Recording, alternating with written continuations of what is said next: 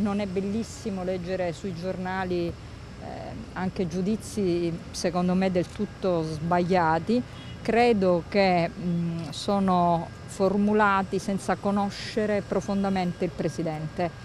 Quindi il mio è un, un ricordo che resterà vivo. Oggi rispetto ieri, è chiaro poi il, il dolore resterà sempre, rispetto ieri però eh, sono convinta che non sarà un qualcosa che lui mi mancherà fisicamente, però resterà nei, nei miei pensieri, in ogni mio pensiero. Grazie mille. Grazie a tutti.